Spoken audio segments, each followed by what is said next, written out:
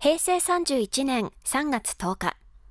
阿蘇カルデラ内で国が今後10年間にわたって実施する直轄砂防事業の着手式が阿蘇体育館で開催されました。この事業は、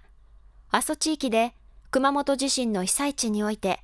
今後の雨などによる土砂災害から地域の安全や国道や鉄道などのインフラを保全する目的で行われるもので、阿蘇市や南阿蘇村で3月下旬から工事が始まります。会場となった阿蘇体育館には、地元住民や対象の市町村と工事関係者ら200人が出席。ステージでは、阿蘇中央高校書道部の生徒による書銀などが披露されました。地元代表挨拶に立った佐藤義之阿蘇市長は、災害の続く阿蘇地域で大切な事業です。地元として協力していくと挨拶し、万歳三唱の温度を取り、工事の安全を祈願しました。